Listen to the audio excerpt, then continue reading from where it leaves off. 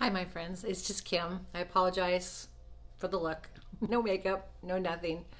Um, I promised you I'd update you, and I needed to let you all know that yesterday, after I made that video, that um, Zach took a really pretty bad turn and has a major GI bleed, and um, we feel that he probably has within 24 to 48 hours.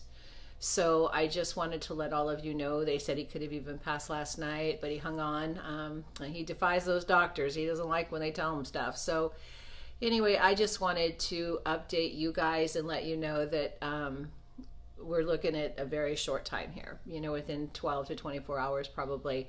They said last night because um, of how bad it was. They thought it would probably be sometime during the night. It was not. Um, he's very quiet. He's not in any pain right now that we know of, but he is um, he is not doing well. And I just felt I needed to let you guys know because I promised you I would do so. Um, things rapidly changed yesterday, and um, we did not expect a GI bleed, but that's what we've got. And I just, again, thank you for the well wishes and the prayers. Um, I will keep you posted. Um, I hope you have a good Friday and take care of yourself all. Thank you. Bye.